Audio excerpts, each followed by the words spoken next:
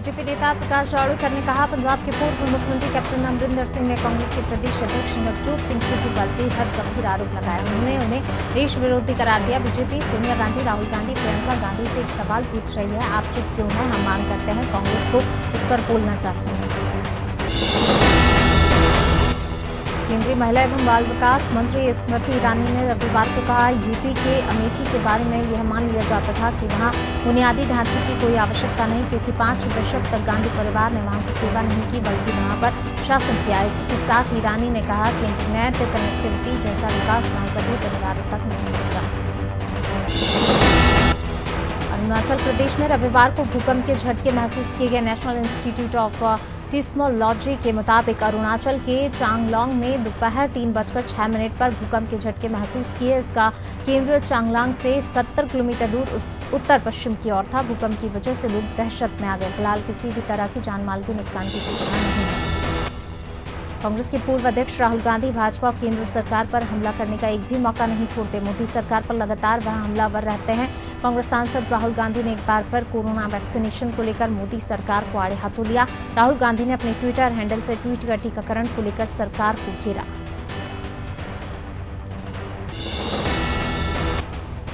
पूर्व केंद्रीय मंत्री और कांग्रेस के वरिष्ठ नेता सलमान खुर्शीद रविवार को काशी पहुँचे। इस दौरान पत्रकारों से हुई बातचीत में उन्होंने केंद्रीय मंत्री स्मृति ईरानी के बयान और ललितेश त्रिपाठी के प्रकरण पर अपनी बात रखी। सलमान खुर्शीद ने स्मृति ईरानी के दिए बयान पर कहा कि पहले शिकायत यह रहती थी कि सारा काम अमेठी में ही हो रहा है। अब ये कहा जाता है, अमेठी में कोई काम नहीं है। राजनीति से संन्यास का ऐलान करने के बाद तृणमूल कांग्रेस में शामिल होने वाले बीजेपी के पूर्व नेता बाबुल सुप्रियो ने एक बार फिर से मीडिया के सामने बड़ा बयान दिया। उन्होंने कहा, पार्टी बदलकर कोई इतिहास नहीं बना रहा हूँ। मैं मुख्यमंत्री ममता बनर्जी और अभिषेक बैनर्जी को बहुत धन्यवाद देना चाहता हूँ। उन्होंने मुझे अपनी प्लेइंग इलेवन टीम में मौका दिया।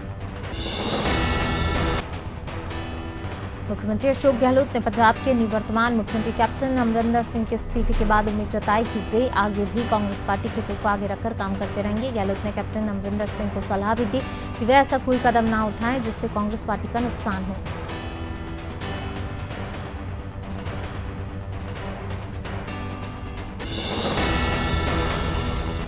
सिवान से जेटीयू के पूर्व विधायक श्याम बहादुर सिंह एक बार फिर चर्चा में है। उनका बार बालाओं के साथ ठुमके लगाने का एक वीडियो सोशल मीडिया पर तेज़ी से वायरल हो रहा है। पूर्व विधायक स्टेज पर छोटे कपड़े पहने डांसर के साथ खूब टुमके लगा रहे हैं। इतना ही नहीं, नेताजी डांसर्स पर जमकर पैसों की बरसात भी कर रहे हैं।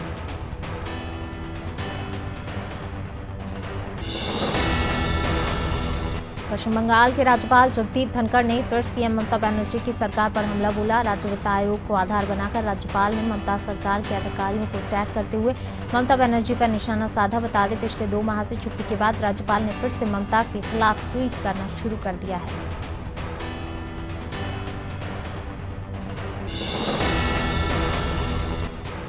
मध्य प्रदेश के राज्यपाल मंगूभाई पटेल ने शौर्य स्मारक में सशस्त्र सीमा बल भोपाल एकेडमी के कार्यक्रम में शिरकत की। एकेडमी की ओर से आज़ादी के पचहत्तरवें अमृत महोत्सव में साइकिल रैली निकाली जा रही। इस रैली को राज्यपाल मंगूभाई पटेल ने हरी झंडी दिखाकर रवाना किया। ये रैली भोपाल से शुरू होकर दो अक्टूबर गांधी जयंती पर दिल्ली के राजघाट में समाप्त होगी मध्य प्रदेश के चिकित्सा शिक्षा मंत्री विश्वास सारंग ने शराबबंदी को लेकर उमा भारती का समर्थन किया। मंत्री सारंग ने कहा, शराबबंदी को लेकर माहौल बनाना ज़रूरी है। वहीं बढ़ते डेंगू के मामले को लेकर मंत्री ने कहा, प्रदेश में जन जागरूकता के साथ सभी व्यवस्थाएँ की गई हैं।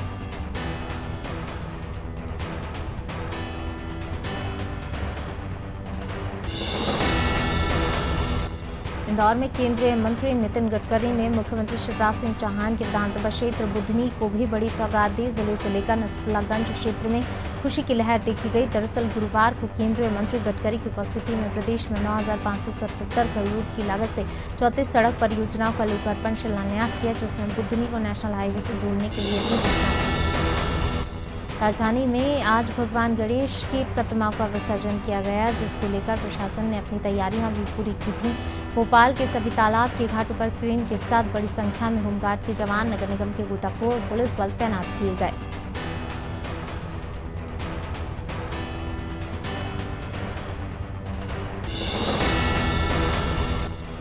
उज्जैन ज़िले के नागदा में कोरोना गाइडलाइन के तहत गणपति प्रतिमाओं का विसर्जन किया जा रहा है। वहीं प्रशासन की व्यवस्थाओं ने सभी रहवासी संतुष्ट हैं। सबसे खास बात ये, प्रतिमा का विसर्जन करने के दौरान भक्तों की भावनाओं का ख्याल रखते हुए श्रद्धालु की बप्पा का विसर्जन कर रहे हैं और उनकी सुरक्षा का खास ध्यान भी रखा गया।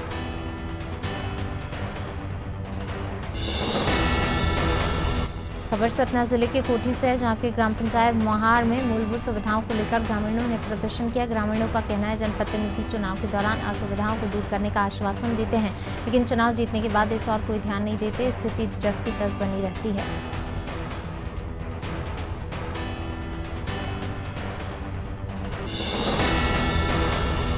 कटनी ज़िले में विचाराधीन कैदी की इलाज के दौरान मौत हुई, जिसके बाद मृतक के परिजनों ने जमकर हंगामा किया। कैमूर थाना क्षेत्र का रहने वाला आरोपी धर्मेंद्र पटेल कई धाराओं में जेल में बंद था। अचानक तबियत बिगड़ने पर जेल प्रशासन ने कैदी को जिला अस्पताल में भर्ती कराया। इलाज के दौरान कैदी ने दम तोड़ दिया।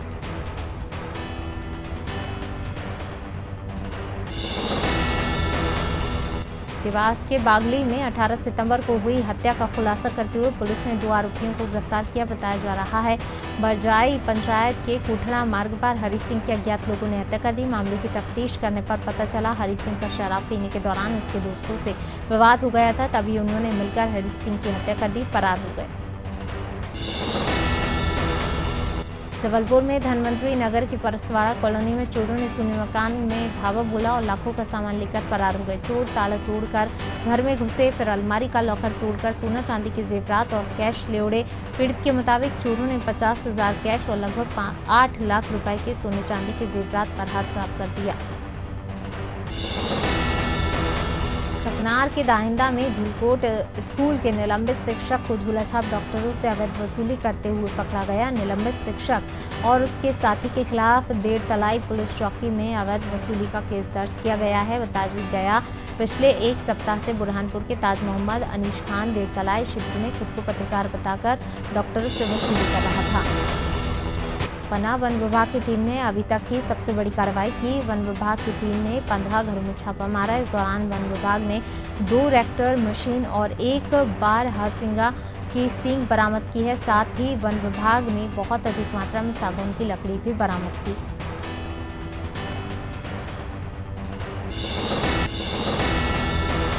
मुरैना के धनेटा रोड पर फौजी के घर में हुई डकैती का खुलासा करते हुए पुलिस ने तीन आरोपियों को गिरफ़्तार किया। जानकारी के मुताबिक 13 सितंबर को फौजी शत्रुघ्न सिंह तोमर के घर पर बदमाशों ने धावा बोल दिया। इस दौरान उन्होंने फौजी की पत्नी और बेटी की मारपीट करते हुए उन्हें बंधक बना लिया और घर में रखे सोने चांदी के जेवरात लेकर फरार हो गए। खबर रायसेन ज़िले के गैरतगंज से है जब कक्षा आठवीं के छात्र पवन सेन को स्कूल में तिलक लगाकर उस समय महँगा पड़ गया जब स्कूल की शिक्षिका ने बाहरी लड़कों से पवन सिंह की पिटाई करवा दी। पिटाई से छात्र पवन बेहोश हो गया। गैरतगंज प्राथमिक स्वास्थ्य केंद्र से छात्र को प्राथमिक उपचार के बाद अस्पताल रेफर किया, जहाँ उसका इलाज जारी है। खबर, होशंगाबाद ज़िले के पपरिया से, जहाँ एक पति ने पत्नी की पीट पीट कर हत्या कर दी। मामले की जानकारी लगते स्टेशन रोड थाना प्रभारी अपनी टीम के साथ घटनास्थल पहुँची। थाना प्रभारी निकिता विल्सन ने बताया, दोनों पति पत्नी के बीच किसी बात को लेकर झगड़ा हुआ था। चोट अधिक लगने से महिला की घटनास्थल पर मौत हो गई।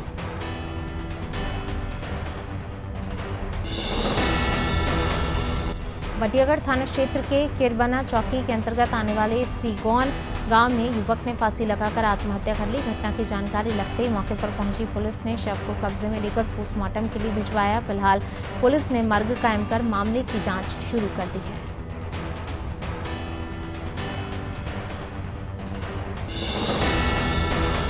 इंदौर पुलिस को बड़ी सफलता मिली। अपराध मुक्त इंदौर की मुहिम के तहत राजेंद्र नगर पुलिस ने छह चोरी के मामलों का खुलासा करते हुए तीन आरोपियों को गिरफ़्तार किया जिनके कब्जे से पुलिस को लाखों के जेवरात और नकदी बरामद हुई है।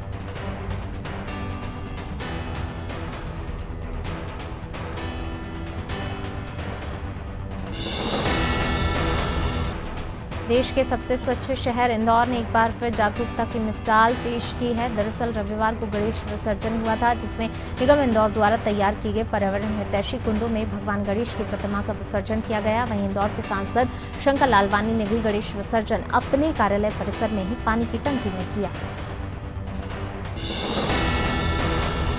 इंदौर में बढ़ रहे सड़क हादसों को देखते हुए युवक ने भगवान गणेश का भेष बनाकर लोगों को यातायात नियमों का पालन करने की समझाइश दी। बता दें कि स्पेशल ट्रैफ़िक ग्रुप समय समय पर लोगों को ट्रैफ़िक नियमों के बारे में बताने के लिए समय समय पर ऐसे कार्यक्रम करता है। लोगों को यातायात नियमों के प्रति जागरूक करता है।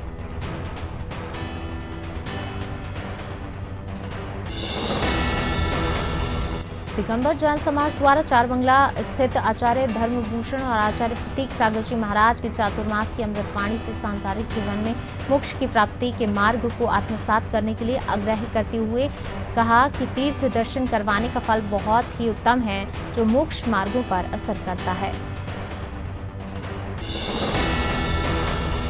नेपानगर के चांदनी बोरसल रोड पर हुई लूट का मुख्य आरोपी को पकड़ने गए प्रशासनिक अमले पर अज्ञात लोगों ने तीर और गुलेल से हमला बोल दिया, जिसमें थाना प्रभारी सहित पाँच पुलिसकर्मी घायल हो गए। हालाँकि प्रशासन द्वारा फिर से चिड़िया पानी जंगल में दबिश देकर आरोपी को पकड़ने की कोशिश की गई, लेकिन आरोपी मौके से फरार हो गया कुटला थाना प्रांगण में नवागत पुलिस अधीक्षक सुनील जैन का सभी पुलिसकर्मियों ने स्वागत किया। इस अवसर पर पुलिस अधीक्षक के साथ एएसपी सीएसपी सभी अधिकारियों ने बारी बारी से पौधारोपण किया। साथ ही सभा से कम, कम से कम एक पौधा लगाने की अपील भी की।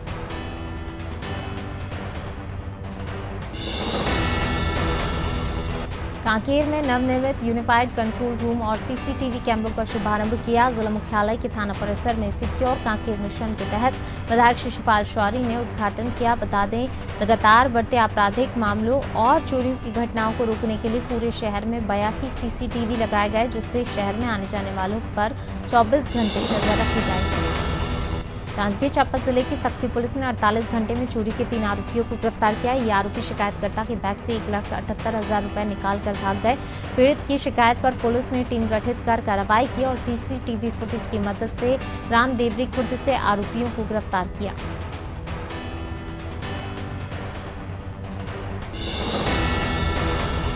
विश्व प्रसिद्ध बस्तर दशहरा की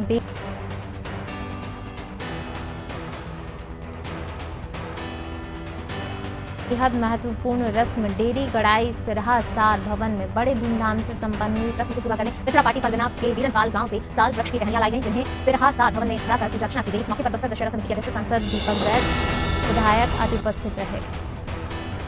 मुख्यमंत्री भूपेश बघेल ने रविवार को वर्चुअल माध्यम से लोक निर्माण विभाग के एक करोड़ पंचानवे लाख पैंतालीस हज़ार रुपए के इकतीस विकास कार्यो का भूमि पूजन किया। आपको बता दें, राजनांदगांव के कलेक्टर सभागार में कार्यक्रम आयोजित किया। इस दौरान कार्यक्रम में विधायकों सहित तमाम राजनीतिक लोग मौजूद रहे।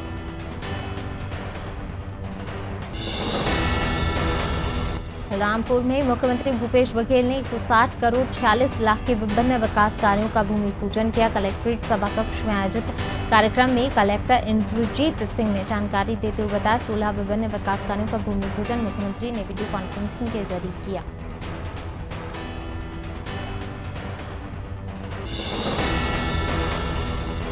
लखीमपुर खीरी ज़िले की पालिया तहसील के संपूर्णा नगर में किसान चीनी मिलों पर बकाया गन्ने के भुगतान को लेकर धरना प्रदर्शन किया। किसानों का कहना है कि समय से गन्ने का भुगतान न होने के कारण किसान भुखमरी की कगार पर हैं। सरकार समय से किसानों के गन्ना भुगतान को लेकर वादे करती है, पर किसानों को गन्ने का भुगतान समय पर नहीं मिलता है।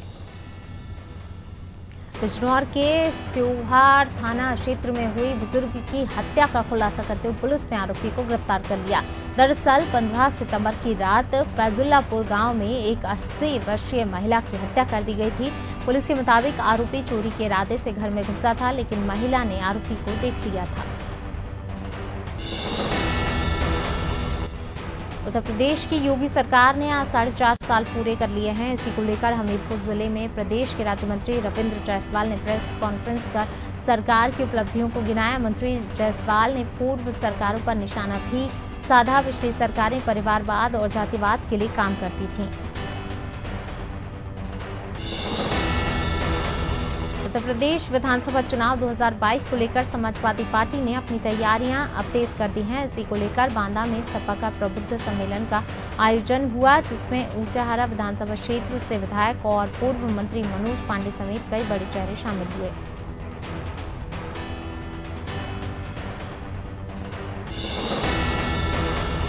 लखीमपुर खीरी में वन विभाग की टीम को बड़ी सफलता मिली है। वन विभाग की टीम ने दुधवा रिज़र्व क्षेत्र में जंगली सुअर के मांस के साथ एक शिकारी को धर दबोचा, जिसके कब्जे से करीब आठ किलो मांस बरामद किया। फ़िलहाल आरोपी के खिलाफ वन्य अधिनियम के तहत मामला दर्ज कर उसे न्यायिक हिरासत में भेज दिया गया है।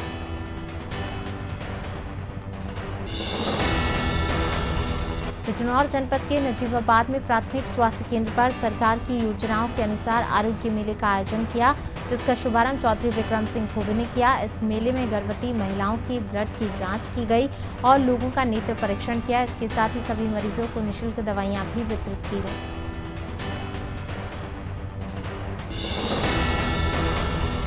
शाहरुख खान, डायरेक्टर अटली की फ़िल्म लॉयन को लेकर चर्चा में है। अब शाहरुख खान जल्द ही राजकुमार हिरानी की अपकमिंग फ़िल्म में नज़र आने वाले हैं। रिपोर्ट्स के मुताबिक फ़िल्म में उनकी जोड़ी तापसी पन्नू के साथ नज़र आएगी। वहीं फ़िल्म की स्क्रिप्ट को लॉक कर दिया गया और ये फ़िल्म मई 2022 तक फ्लोर पर आ जाएगी।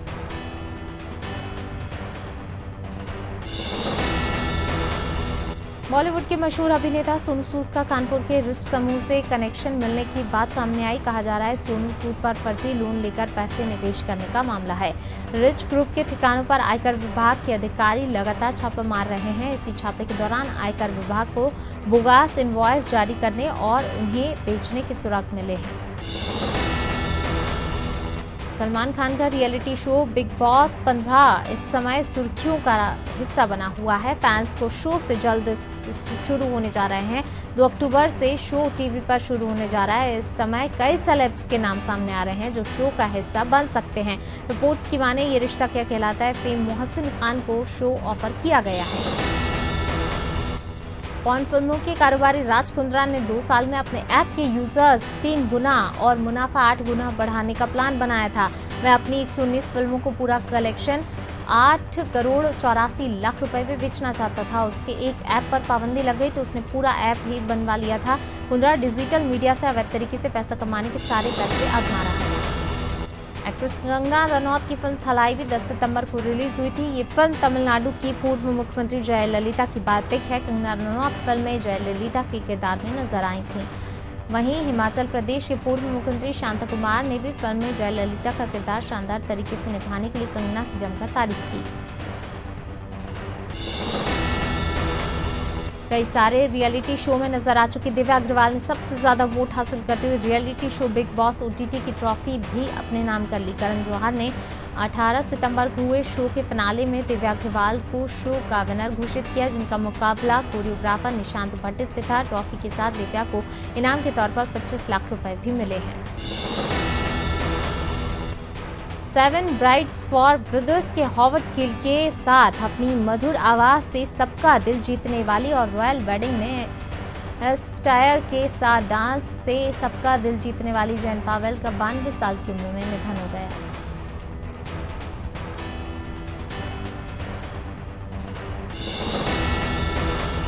भोजपुरी फ़िल्मों में गायकी से लेकर अभिनय और राजनीति तक पहुंचकर सफलता पाने वाले मनोज तिवारी ने जीवन में कई उतार चढ़ाव देखे। मनोज तिवारी को बचपन से ही गायकी का बड़ा शौक था।